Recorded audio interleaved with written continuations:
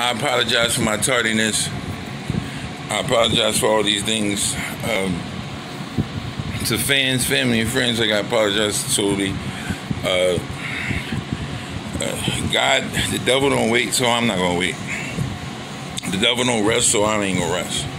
My Sunday motivation is single, and this is not coming from a spot or place of business. This is not coming from anything else. This is me being transparent and me letting people know that I choose to be the poster boy for God for one reason, one reason alone. That the mistakes that I make, I'm not afraid, and God, I believe that God chose me because I'm not afraid to expose those mistakes to help other people.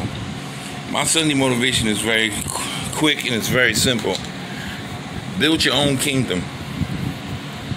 And a lot of times, guys, we don't want to admit this, and this is more for men than women, even though women are contrary to belief, they go through the same experiences and, and frustrations and pain as men do.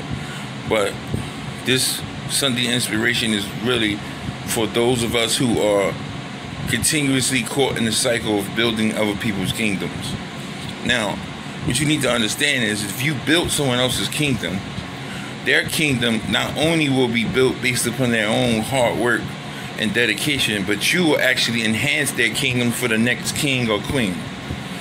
Like, I'm tired of like buying TVs and having a dude come over there after I'm gone and he's playing on my TV or fixing up a girl house or or coming in there helping her through her struggles and her situations and frustrations and, and all this stuff and then when it's time to leave I have to go start over.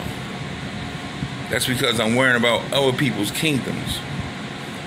When in actuality, there's nothing wrong with you being in a situation or being selfish enough to be in, in a circumstance where you start to be concerned about your own kingdom.